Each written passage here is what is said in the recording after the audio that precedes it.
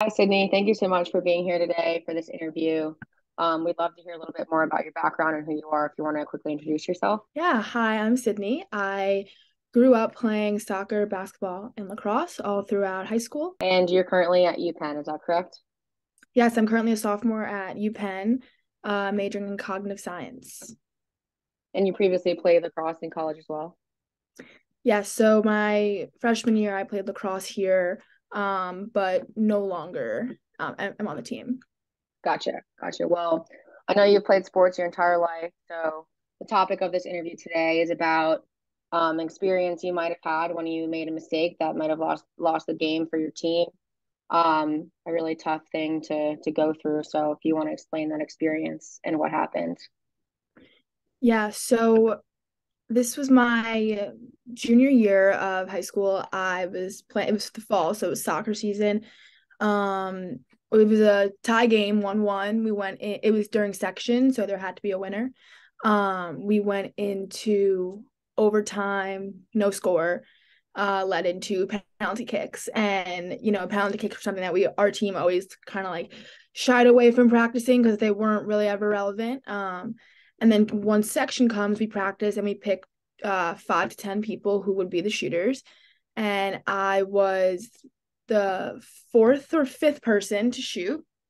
Um, and I was really confident. I wasn't really worried. I was like, oh, I know I know what I'm gonna do. I had my uh, placement nailed down, and I went up there. And at this point, I needed to make the goal in order to win.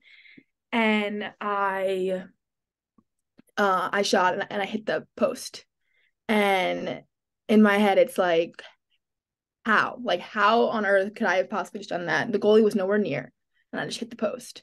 Um, so we ended up losing that game, and that was the end of our season at that moment it was like it felt like the entire world was just like shutting down there's so much pressure around like in high school especially i was the athlete. My identity was like this athlete. So then it felt like my worth was based on how many goals i scored how many points i made and to then fail and not do what i was supposed to do. You know it was really took a toll on me. And in that moment i ran to the sideline. My team my team was really supportive. Um like you know they know it it didn't just come down to that final goal. It was the entire game that was being played. But in that moment i felt like i let them down um, and they were supportive my coach was great um, it was the end of our season but and then i knew like we i still had one more year like it wasn't my senior year so that was really nice for me but i looked at the seniors and seeing all them crying and felt that i had done that to them in that moment i cried right away and i was really upset but and it stuck with me for a really long time I went into then basketball season like right away. So it kind of was like a, a quick turnaround. Um, but even like in every game that I play, there's always this pressure to like score more goals than I did previously, or more points than I did previously, and be the best. It was like my I felt like my identity was wrapped around like Sydney was this athlete, and I had to then play in college and do what I had to be the best, and it was almost like this perfectionist um, aspect of what high school sports are like. And then you don't realize like the toll that could take on you in, in, in college yeah completely. No you can tell based on the way you describe this experience that it definitely resonated with you deeply. So thank you so much for sharing that. Um, what are some things after that experience that you could say affected you specifically your mental health aside from things like performance anxiety? Um, do you think you felt just really down on yourself? And if so like how long did that those feelings last after this experience? And how did your teammates lift you up you know i've always been someone who is very organized very good at time managing but that also like has led to a little bit of like perfectionism and putting a lot of pressure on myself throughout not just sports and in academics whatever it is. Um i think you know this experience was kind of like my worst nightmare. You know it's like i always like i think i always like i'm always focused on the small things and i'm i'm an overthinker. So and I think sports has honestly made me that way. It's like I didn't just play a game and never watch that film again. Like I was always looking at it, like whether it was the the bad things or the good things. It was almost like as part of my identity was this sports. It was like I felt like I had to like go back and like look at like me scoring that goal and then me not scoring that goal. Like I I would I was I was like obsessed. And you know, then in college in like recent time, which which is about a year ago now, um i came to play the sport that i love which was lacrosse i grew up playing sports and i like couldn't imagine not playing in college um and i came and i not only transitioning into freshman year, you know, I loved it at first. I loved playing, I loved being on the field. And then all of a sudden there was like this switch when like things got hard. It was like I felt like I was losing myself. I wasn't like I felt like I couldn't just I wanted to be the I, wanted to like the first in the in, in the locker room to shower. I didn't want to be on that field anymore.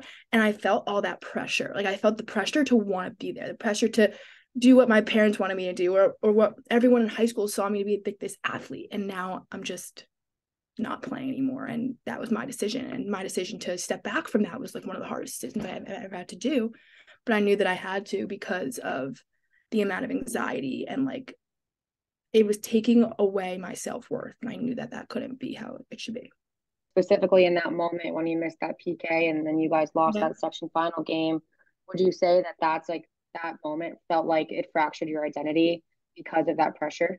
You know, I don't think I'll I could say like right now that stuck with me, but I think it really did stick with me and it it always was in the back of my mind in college or whatever it was about like that feeling of letting people down or letting my coaches down, letting my teammates down.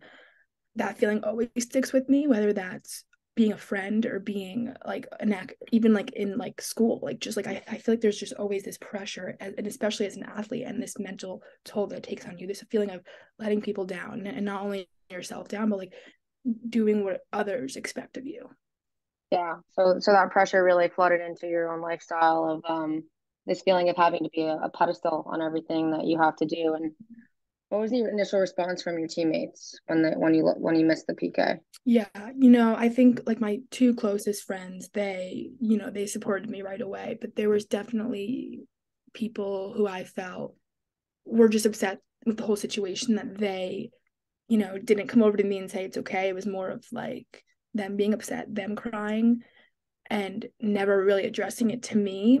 Not that they needed to, but you know, it, it made with like that silence with nothing being said made me put all that extra pressure on myself and be like you know i did that. I let them down.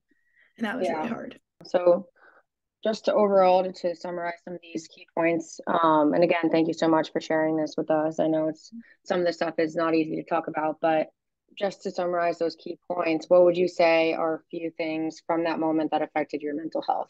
Just maybe loss of identity for a moment, just um, you know, things like that that you can just if you can recall from that, just to summarize.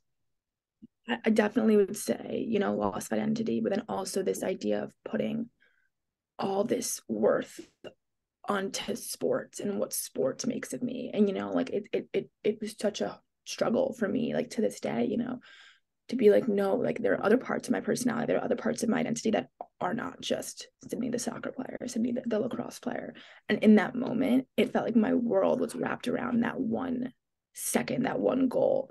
So then to be able to like, you know, uh, from a, a mental standpoint, get rid of that idea that like this identity is your only identity. That is like one of the hardest things that I still deal with today. Yeah. Well, listen, thank you so much for for your responses. I don't want to take too much more of your time, but we really appreciate it. And um, for having me. Yeah, of course. Um, so I will leave you, but thank you again and, and have a great night. Thank you.